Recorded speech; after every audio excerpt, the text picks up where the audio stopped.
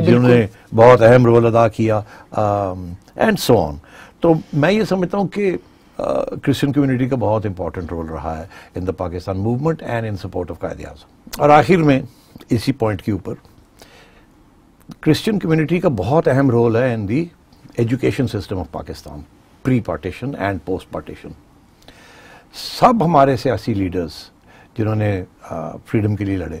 They were all educated most of them اور main important ones in Christian institution سب سے premier institution کون سی تھی Lawrence college Ghora Gali مرے college in سیال کو Edwardes college in Peshawar F C college in Lahore ٹھیک؟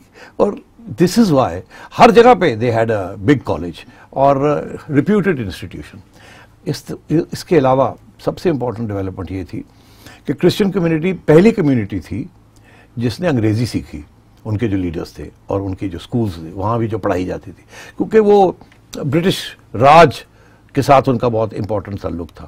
تو English کا استعمال کرنا اور تعلیم میں کرسچن لیڈرز جو تھے دیور ان دا لیڈ اور انگلش کے ساتھ اور تعلیم کے ساتھ اور برٹش راج کے ساتھ جو ان کی ویلیوز تھیں آف سیکولرزم ڈیموکریسی یہ ساری ویلیوز بھی انہوں نے امبائب کی۔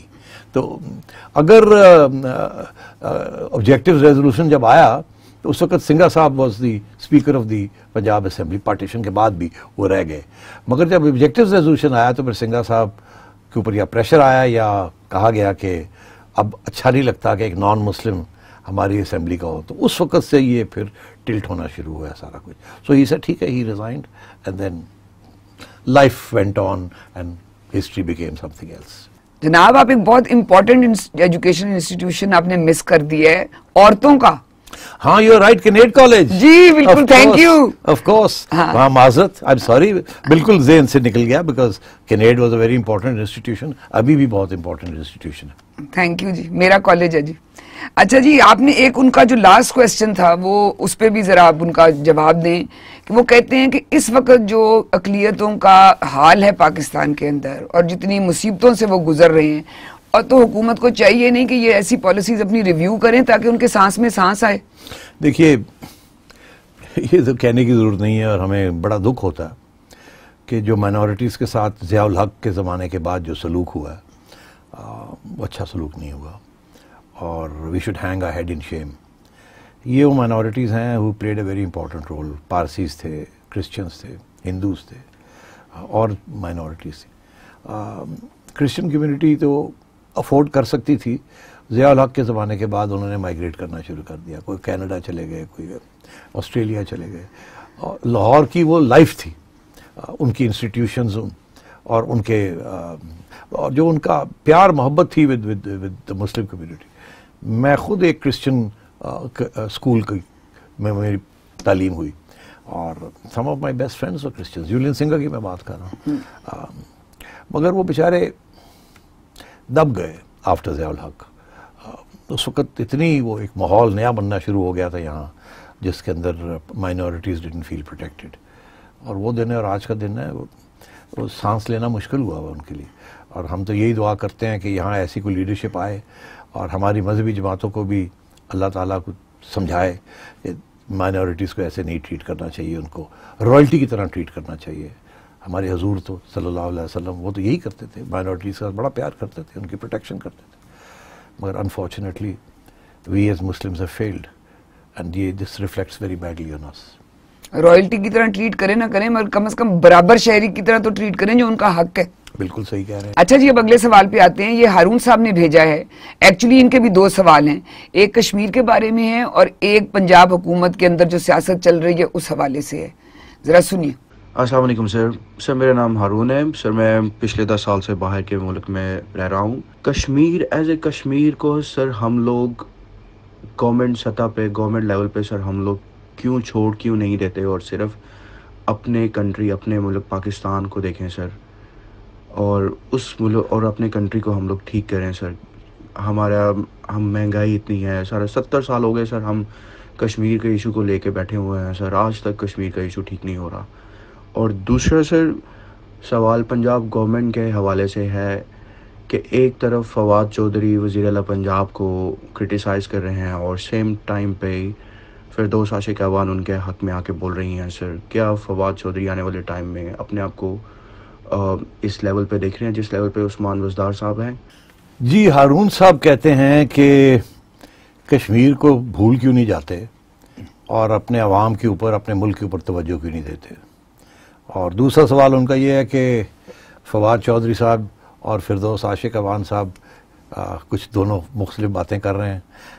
فواد چودھری صاحب پنجاب حکومت کی تنقید کر رہے ہیں بزدار صاحب کی اور فردوس عاشق عوان صاحبہ کہہ رہی ہیں ان سے بہتر کوئی چیف منسٹر ہو نہیں سکتا۔ تو کیا فواد چودھری صاحب بزدار صاحب کی سیٹ لینا چاہتے ہیں کہ نہیں؟ تو پہلے تو اس کشمیر کا سوال بڑا سنجیدہ سوال ہے بڑا امپورٹنٹ جی۔ سوال ہے۔ دیکھیے کشمیر کو بھول تو نہیں سکتے۔ وہ انفنشڈ بزنس اور پارٹیشن ہے اور ہمارا فرض بھی ہے اور ہمارا حق بھی ہے کہ اس معاملے کو حل کیا جائے۔ بڑی بدقسمتی ہے کہ یہ معاملہ اب تک حل نہیں ہو سکا۔ اور اس میں مین پرابلم ہندوستان رہا ہے۔ کیونکہ وہ اپنے لفظ سے پیچھے ہٹ گیا۔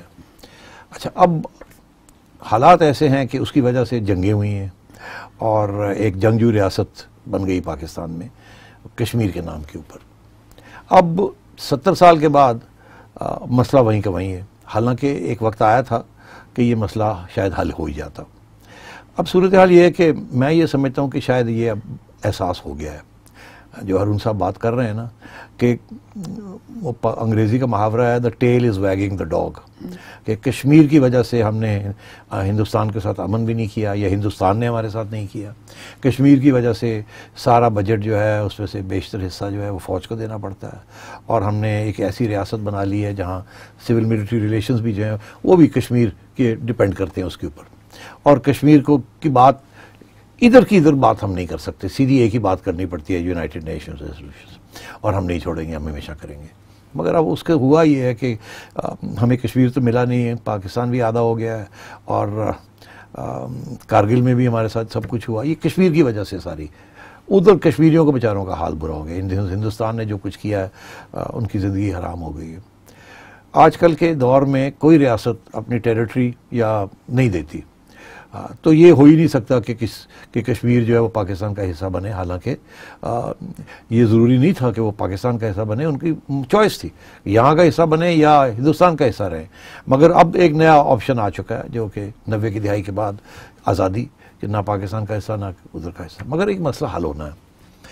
اب ہرون صاحب کا سوال اس لیے ریلیونٹ ہے کہ اگر حل نہیں ہو رہا تو چلو بھول کیوں نہیں جاتے اس کو؟ چھوڑ دیں۔ ایکچولی ہرون صاحب کو پتا ہوگا کہ جنرل مشرف اور واجپئی صاحب جو مذاکرات کر رہے تھے اس وقت، اس میں یہی تھا کہ یہ مسئلہ حل تو ہوگا نہیں، نہ آپ دینے کے لیے تیار ہیں نہ ہم آپ سے چھین سکتے ہیں اور خون خرابہ ہو رہا ہے، اس کو کسی طریقے سے کوئی حل نکالا جائے۔ حل انہوں نے یہ نکالا تھا کہ اس کو پچاس سال کے لیے ملتوی کر دیا جائے، final solution. In the meanwhile meanwhile کہ دونوں کشمیروں کے درمیان آنا جانا شروع ہو جائے۔ اور پاکستان اور ہندوستان کے ساتھ تجارت شروع ہو جائے اور جنگ کی بات ختم ہو جائے۔ مگر وہ آپ کا رہے، یہ ہمارا رہے، مگر کشمیر ایک یونٹ بن جائے اور اس کی ایڈمنسٹریشن جو ہے وہ جوائنٹلی کر لی جائے۔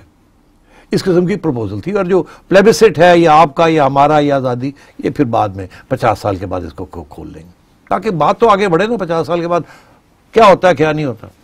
تو اسی قسم کی سولوشن پھر بھی پاسبل ہے اور ہو سکتی ہے۔ مگر اب بہت مشکل ہو گیا۔ اب ہندوستان میں نریندر مودی نے جو کام کیا ہے اس کے بعد اب کون سی حکومت وہاں آئے گی جو کہ کشمیریوں کو ان کی حق خود ارادیت دے گی؟ میرا خیال ہے بہت انقلاب آنا پڑے گا کشمیر کشمیر میں بھی اور ادھر بھی، ہندوستان میں بھی۔ بالکل این ممکن ہے، جس قسم کی ریوولٹ آپ دیکھ رہے ہیں نوجوان طبقہ کھڑا ہو رہا ہے، انہیں احساس ہو رہا ہے کہ یہ جو ہندوستان نریندر مودی بنانے جا رہا ہے، یہ وہ ہندوستان نہیں ہے جس میں نہرو نے وعدے کیے تھے اور کہ ہم سیکولر رہیں گے اور ہم کشمیر میں پلیبیسائڈ کرائیں گے سو تو ہرون صاحب کو میں یہی کہوں گا کہ اب وہ بیک برنر پہ آ گیا ہے۔ اب ہم انٹرنیشنل انٹرنیشنلی یہ بات کرتے ہیں اور ہم ہم کرتے رہیں گے اور ہمیں کرنی چاہیے۔ مگر وہ جو obsession تھی کہ یہ اب لے کے رہیں گے لے کے رہیں گے، یہ ختم ہو گئی ہے۔ اور یہ اب ہماری نیشنل سیکیورٹی اسٹریٹجی کا حصہ بھی نہیں رہی۔ باتیں ہم کرتے ہیں۔ ہم پچھلے اپنے یونائٹڈ نیشنز سان سے پیچھے نہیں ہٹ سکتے۔ اگر ہٹے نہیں تو سب کچھ چلا جائے گا۔ مگر جب کمپرومائز آتی ہے تو جب دونوں سائڈز کمپرومائز کرتی ہیں تو پھر آپ سپیس نکل آتی ہے۔ تو یہ ہمارا فارمل پوزیشن رہے گی۔ مگر کیا اس کے ساتھ جنگجو ریاست رہے گی؟ نہیں ہونی چاہیے۔ اور ہندوستان کے ساتھ کسی نہ کسی سٹیج پہ امن کا رشتہ جو ہے وہ قائم ہونا چاہیے۔ جب ہندوستان اور کشمیر کے درمیان امن کا رشتہ کوئی قائم ہو جائے گا تو پھر ہمارے لیے بھی راستے بن جائیں گے۔ دوسرا سوال ان کا جو ہے فواد چودھری والا۔ وہ تو بڑا سیدھی سی بات ہے کہ جی کون نہیں بننا چاہتا پنجاب چیف منسٹر؟ فواد چودھری صاحب سمجھتے ہیں کہ وہ چلا سکتے ہیں اور ان کی ضرور خواہش ہوگی یہ۔ مگر میرا نہیں خیال کہ فواد چودھری صاحب کے حوالے عمران خان پنجاب کو کریں گے۔ اس کی وجہ یہ ہے کہ عمران خان صاحب چاہتے ہیں کہ ان کا کوئی پپیٹ وہاں بیٹھا رہے، جو کہ ninety nine hundred twenty percent loyal to Imran Khan. Fawad Chaudhry صاحب کی جو سیاست رہی ہے، وہ ایک جماعت میں نہیں، تین چار جماعتوں سے گھوم کے آ رہے ہیں۔ اور ابھی بھی کوئی گارنٹی نہیں ہے کہ وہ اس جماعت کے ساتھ رہیں گے اگر حالات تبدیل ہو جاتے ہیں۔ تو اس لیے اور پھر فائنلی یہ بھی شک ہے چودھری صاحب کے بارے میں کہ عمران خان صاحب کی کابینہ میں تو بیٹھتے ہیں، بات بھی کرتے ہیں، مگر ان کی فائنل لائلٹی جو ہے وہ اسٹیبلشمنٹ کے ساتھ ہے۔ تو اس لیے میرا خیال ہے خان صاحب، چودھری صاحب کو تو بالکل پنجاب میں نہیں آنے دیں گے۔ مگر اب پنجاب میں کیا ہوتا ہے، کیا نہیں ہوتا، وہ تو پھر آگے دیکھنے والی بات ہے۔